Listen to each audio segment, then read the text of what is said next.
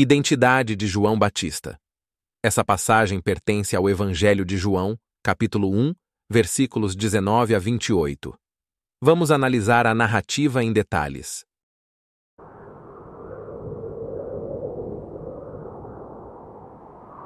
Contexto histórico e geográfico. A cena se passa em Betânia, além do Jordão, onde João estava batizando.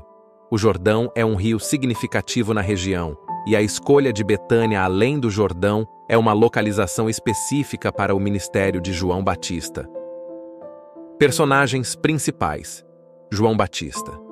Ele é o principal protagonista nesta passagem, conhecido como o precursor de Jesus.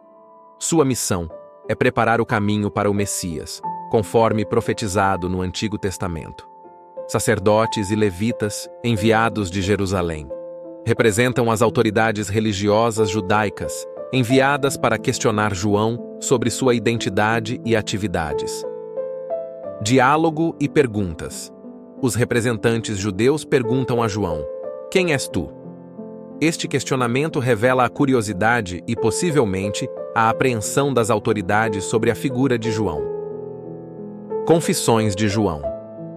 João confessa que ele não é o Messias, nem Elias, nem o profeta esperado.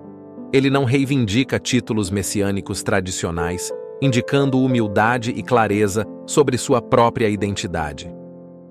Referência profética.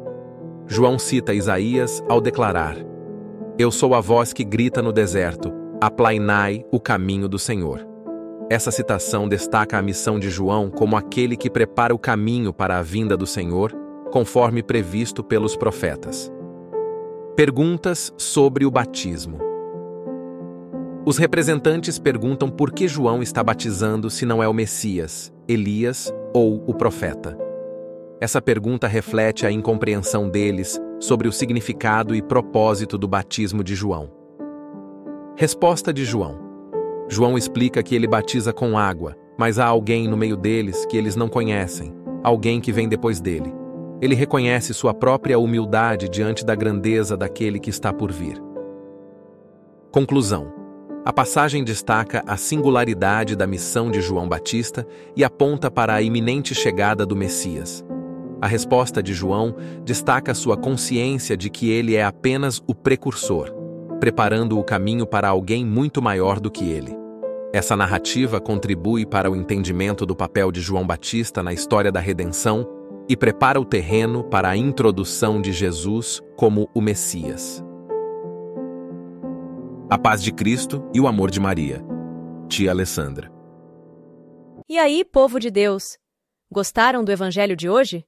Não esqueçam de se inscrever, curtir e comentar. Isso ajuda muito no crescimento do nosso canal.